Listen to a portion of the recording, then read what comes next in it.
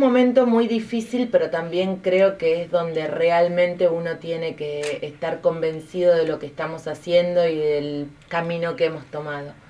Yo entiendo que este es un momento de, mucha dificultad en la economía de cada una de las personas que, que, que, que, están en la provincia de Santa Fe y en la República Argentina. Digo, nadie ignora el momento difícil de, de la inflación, de tener un sueldo, de a veces no conseguir un trabajo, de que las cosas cuesten y de no llegar a fin de mes. Pero también es cierto que estamos ante un panorama que empieza muy de a poco a, a, ver que hay una alternativa y que hay una posibilidad concreta de, de salir adelante. Y esa posibilidad es cuando tomamos las cosas en serio y cuando nos hacemos cargo de que nosotros los argentinos tenemos muchos problemas y que esos problemas son estructurales de los argentinos, digo, son problemas que nosotros tenemos desde siempre. A mí me gusta ponerlo con ejemplos y ser clara. Yo tengo 42 años y nunca viví en una Argentina sin inflación. nunca. Entonces yo no le puedo pedir a alguien que resuelva el tema de la inflación en tres, cuando hace 42, por lo pronto yo, pero seguramente si del otro lado hay alguien que tiene 60, 70, te va a decir lo mismo. Nunca viví en una Argentina sin inflación. Y cuando hablo de pobreza, digo algo que conozco muy bien y que recorro y que estudio y que miro y que hablo y que escucho. Digo, a mí me preocupa mucho el tema de la pobreza, pero me preocupa hace muchos años la pobreza. Porque nosotros estamos ante la cuarta generación de chicos pobres en la Argentina. Entonces no es un tema de que parecieron ahora los pobres, porque a veces se quiere instalar, bueno, los pobres están ahora, no, no están ahora. No, no, Hagámonos cargo que hay chicos que tienen abuelo pobre, padre pobre, fueron padres eh, desde, desde la pobreza y aquí vienen hijos pobres y probablemente si no cambiamos las cosas, esos mm. chicos estén condenados también a ser pobres. Bueno, en esta recorrida por el departamento de las, las colonias, ¿con qué se ha encontrado? ¿Cómo han recibido su candidatura? Eh, lo estoy recorriendo no desde que soy candidata, sino desde ya hace un año y medio eh, que, recorro las distintas localidades de lo que es el centro norte y especialmente del departamento de las colonias, así que no soy una, una cara del todo nueva y, he visitado por lo menos una vez anteriormente cada localidad. Y bueno, ahora en este nuevo rol eh, de candidata que, me entusiasma y, realmente la gente me, ha recibido muy bien. Los centros de jubilados están muy contentos con usted, le digo. Eh, este, en verdad, este, estuvimos recorriendo algunos y nos hablan muy bien de algunos intentos de cambios o de cambios en la gestión de, del PAMI, lo cual digo, es un respaldo, digo, este, en el marco de esta vorágine que hablábamos de Gisela, que son todos palos, también rescatemos algunas cuestiones. Es un poco lo, que hablaba Gisela, ¿no? A mí me encanta escucharla porque es muy clara y es para nosotros un, un respaldo y un apoyo enorme que ella también nos acompañe y esté acá, porque también es la voz nuestra eh, en la Cámara de Diputados de la Nación y, y, te puedo asegurar que ella está en cada sesión y, y nos saca las dudas, le mandamos mensajitos, nos dice cómo viene, y, para nosotros es muy bueno también esa cercanía y esa cercanía que ella nos muestra a nosotros es también la cercanía que nosotros tratamos de transmitir en cada uno de nuestros roles que, llevamos adelante. Y mi trabajo desde PAMI con los centros de jubilados tiene que ver con eso. Eh, PAMI es de los jubilados, es de los adultos mayores y los centros de jubilados forman parte en alguna manera de lo que es el PAMI. Eh, y estar cerca de ellos es, también saber qué es lo que pasa en cada lugar y tener esa, esa mirada o ese oído puesto en lo que necesita la persona de San Carlos, en lo que necesita la persona de Esperanza, en lo que necesita el afiliado de San Jerónimo Norte. Ellos me ayudan a mí a poder estar un poco más atenta y es una red que una persona sola no puede estar eh, en todas las localidades al mismo tiempo. Entonces me he apoyado mucho en ellos y como nos encontramos desde el gobierno nacional, también me encontré yo en mi gestión en PAMI. Había un montón de cosas que no funcionaban bien, otras que todavía necesitamos seguir cambiando, pero que dependemos muchas veces de qué tipo de servicio de salud tenemos disponible en cada localidad, de cuántas unidades de traslados hay disponibles para contratar. Entonces hay cosas que todavía nos falta y que sabemos que necesitamos mejorar, pero tenemos el foco puesto desde la gestión en tratar de eh, agotar todos los recursos necesarios para que esos recursos estén disponibles para el afiliado de PAMI. Y, es un poco la impronta de la gestión, pero también del proyecto que tenemos para el departamento. Saliendo de los adultos mayores, ¿qué cosa hay que cambiar del departamento si usted llega a ser senadora? Yo cuando voy recorriendo eh, hablo de que necesitamos un proyecto de departamento.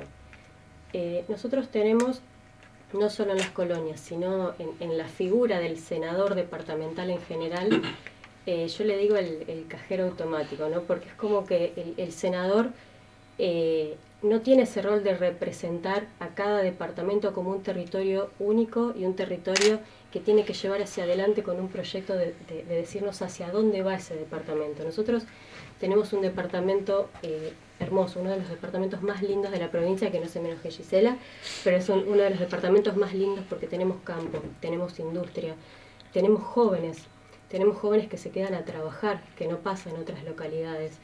Entonces necesitamos saber hacia dónde vamos a llevar ese departamento. Si nosotros no tenemos desde el Senado una buena representación con proyectos, con impulso en materia de legislación que nos digan qué queremos hacer, es muy difícil. Así está que no tenemos resueltos los recursos hídricos, que durante, yo tengo 32, pero desde que tengo uso de razón, escuchamos que hay problemas eh, de inundaciones en los campos y no los ha resuelto nadie. hacemos comités de cuencas, nos reunimos a conversar, nos reunimos a discutir, pero no, hay, no, se logra tener soluciones concretas. Eh, ¿Cómo se imagina esta campaña que recién arranca? Bueno, mira, la campaña creo que no tiene que salir del eje de lo que uno viene trabajando desde hace 10 años en, en la ciudad. Yo siempre, y vos sos conocedor de eso, yo he hecho siempre una oposición eh, respetuosa, porque sé que gobernar no es fácil, y es muy fácil, vale la redundancia de la palabra, decir desde la oposición que uno va a solucionar todo, por eso los planteos nuestros son planteos coherentes, pero sí decimos que queremos una ciudad distinta. Queremos una ciudad distinta porque voy a repetir una y otra vez lo mismo. Nos hemos transformado en los últimos años en una ciudad dormitorio donde muchísima gente a la mañana se va de San Carlos, se va a hacer estudios médicos a Santa Fe, se va a trabajar a localidades vecinas, se va a Galvez, se va a Fran, se va a Esperanza, eh, va a estudiar afuera porque no estamos respondiendo y dando la capacidad que tendríamos que, que tener en una ciudad que siempre se destacó por su emprendedor, por su carácter industrial, fuimos una ciudad que en ese sentido eh, bueno, creo que todo el mundo que conoce el departamento siempre destacó a San Carlos por sus obreros, sus artesanos, y hoy creo que por las políticas públicas que hemos llevado, hay mucha gente que, yo digo así, vive en San Carlos, manda a los hijos a la escuela en San Carlos, duerme en San Carlos, pero las empresas las tiene fuera de San Carlos. Y creo que vamos a trabajar sin prometer milagros para revertir esa situación. Federico, acompañando a, Raúl y también como dirigente joven del, radicalismo, y unas cuantas elecciones ¿eh? Este, en, esta, en esta contienda electoral. Lo charlamos siempre con Raúl. Eh, por ahí es poco común ver a un joven que se comprometa, pero lo que me lleva a seguir comprometiéndome es ver los proyectos que, estamos trabajando con Raúl, con Jorgelina y Gisela, que son proyectos concretos para las realidades que, nosotros visualizamos en la ciudad.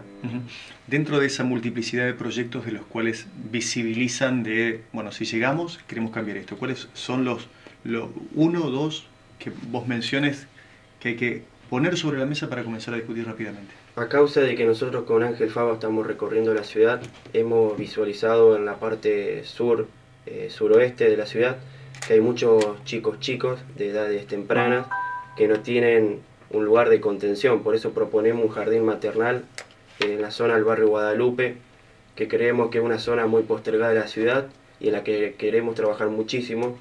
Eh, lo hemos visto en Santa Fe Ciudad con José Corral, que ha creado los jardines maternales, y no queda en que el chico sea jardín solamente, sino que ya que se lleva el chico al jardín, la madre tiene la oportunidad de capacitarse en algún oficio y bueno, posteriormente cuando termine esa capacitación, eh, salir al trabajo, ¿no? Y creo que eso es eh, una explotación que podemos hacer en San Carlos desde nuestro lugar también. Y después eh, lo que queremos trabajar es en el área salud. creo, como decían las chicas, hay mucho para hacer acá. Si bien tenemos, pero yo lo veo desde mi lugar de trabajo, que yo ahora estoy trabajando en la gestión en Santa Fe, se hace mucho más eh, en los barrios, en, territorio. Em, desde la campaña del dengue que en San Carlos no se hizo nada, hubo meses que no se cortaban los yuyos en algunas zonas, y todo eso se, se, tiene que trabajar, pero se tiene que trabajar enfocado en cada familia, porque cada familia tiene una realidad distinta. Y otro de los proyectos que nosotros queremos amplificar más todavía es eh, la parte de acción social en nuestra ciudad. Creemos que hay gente, creemos y lo hemos visto, que hay gente que la está pasando realmente mal, pero que no viene desde ahora y que nunca, nunca se la miró a la cara.